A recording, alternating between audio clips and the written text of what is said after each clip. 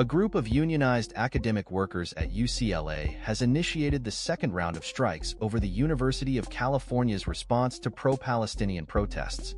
Workers represented by United Auto Workers Local 4811 had previously been striking at UC Santa Cruz as part of what the union termed the first wave of planned walkouts.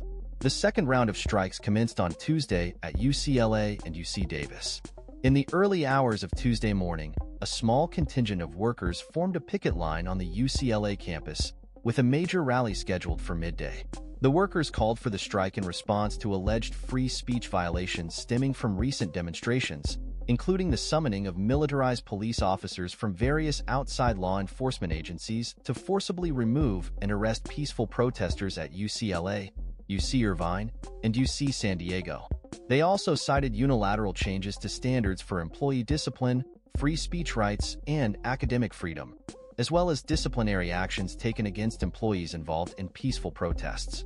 The union's demands were met with criticism from UC officials, who filed unfair labor practice complaints, contending that the union's labor contract includes a no-strike provision and that the union's grievances extend beyond typical labor issues. Prior to the union's strike authorization vote, the University of California Office of the President released a statement expressing concerns about the potential precedent set by allowing strikes for political and social disputes, warning that such work stoppages could significantly disrupt UC's ability to fulfill its commitments to students, the community, and the state of California. UCLA's Vice Chancellor for Strategic Communications, Mary Osako, also issued a statement emphasizing the university's focus on supporting students during the crucial finals period and expressing dismay over external disruptions that hinder the learning environment. The union represents a variety of academic roles, including teaching assistants, readers, tutors, student researchers, and academic researchers. UAW Local 4811 is urging UC schools to grant amnesty to all academic employees and students facing arrest or disciplinary measures for participating in protests.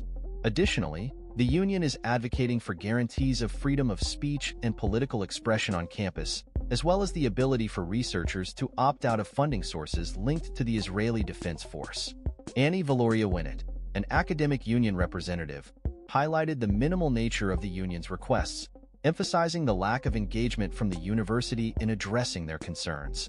To conclude the strike and resume teaching and research activities, the union demands that the university take proactive steps to acknowledge and respond to their issues.